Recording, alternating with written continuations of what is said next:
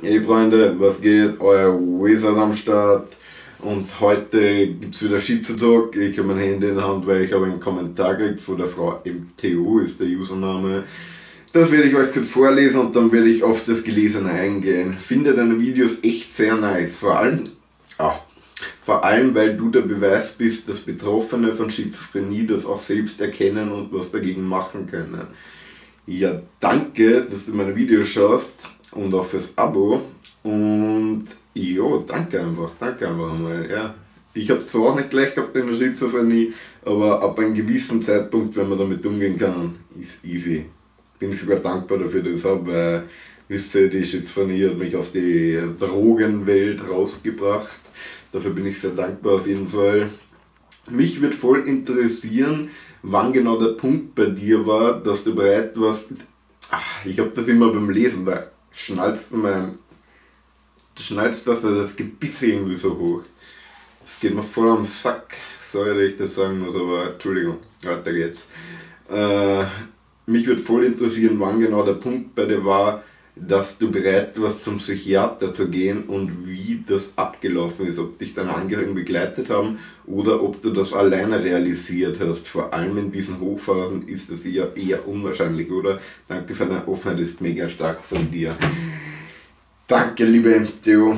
Auf jeden Fall, es ist nicht leicht, dass man es selbst erkennt.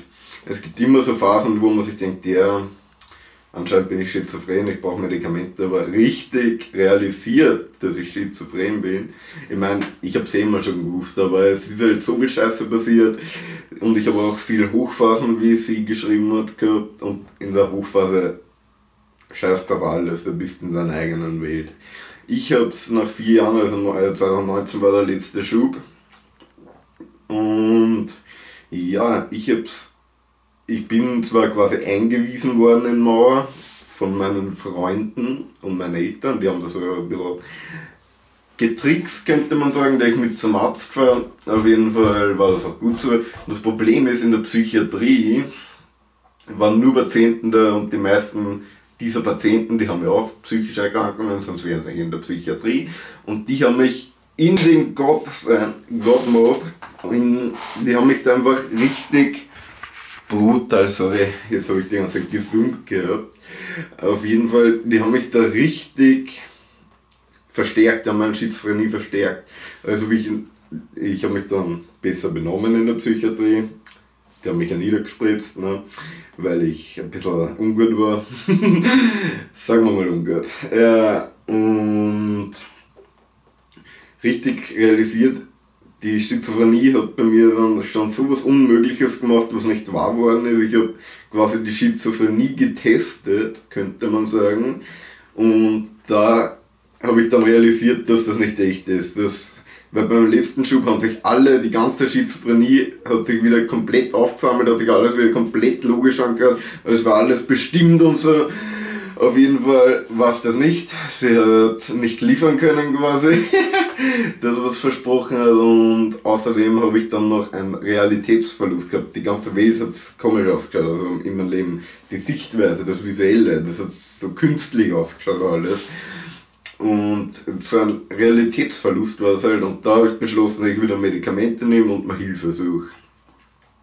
Ich habe zwar immer wieder Hilfe gehabt, aber das Einzige, was man wirklich bei einer Schizophrenie nie, nie, niemals machen darf, sind Drogen nehmen. Schon gar keine psychoaktiven, die schlecht sind fürs Kind. Ich meine jetzt Cannabis zum Beispiel, aber noch schlimmer ist Ketamin, merkt euch das. Da haut euch die Psychose raus.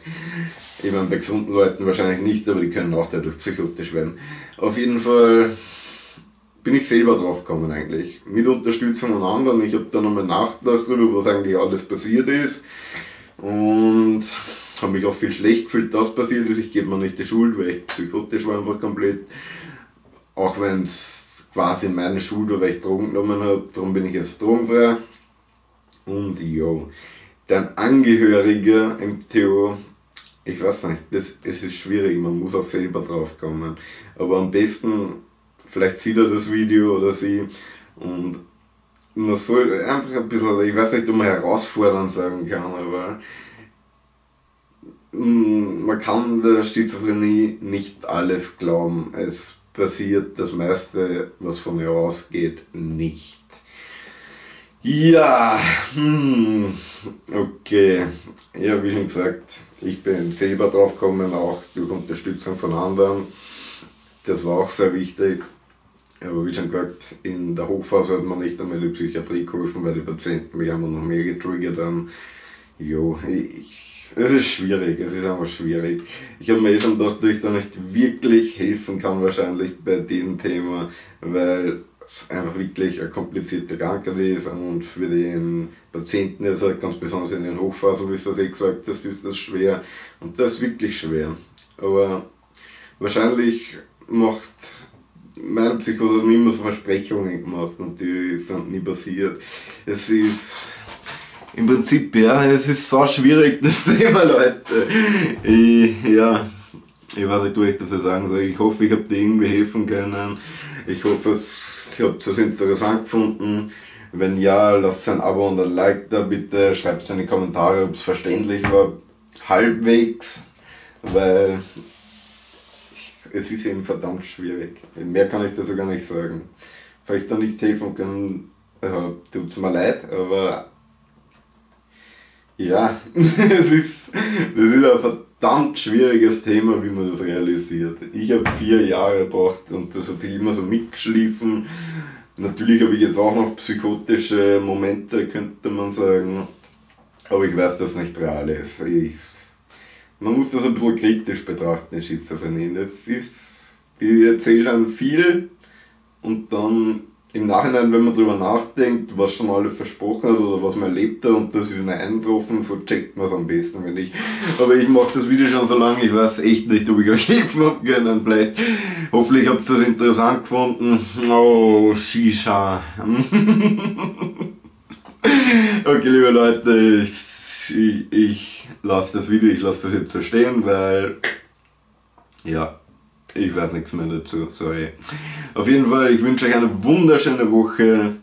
Ich hoffe, ich habe helfen können, MTU und deinen Angehörigen. Vielleicht sieht das selber das Video. Schwierig. Auf jeden Fall, haut rein, liebe Leute, genießt die Woche und Peace out.